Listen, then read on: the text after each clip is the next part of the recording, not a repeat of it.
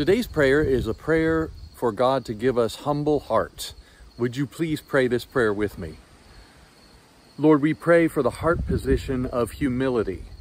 Humility in such a way that we do not cheapen our own worth or value within, but that we take the alignment that we are here for a greater purpose than just our own gain.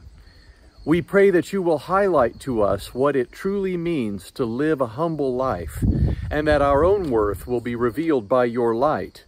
It is only then that we may truly live in freedom and right standing, for we will hold our own value correctly. Lord, humiliate me interiorly. Show me my defects. Block all harmful images from my memory that the enemy could use for my distraction from your will. Please give me a humble, contrite heart that always makes more room for your grace. Lord, we welcome you to mold and secure our hearts in true humility by your lead. In Jesus' name, amen.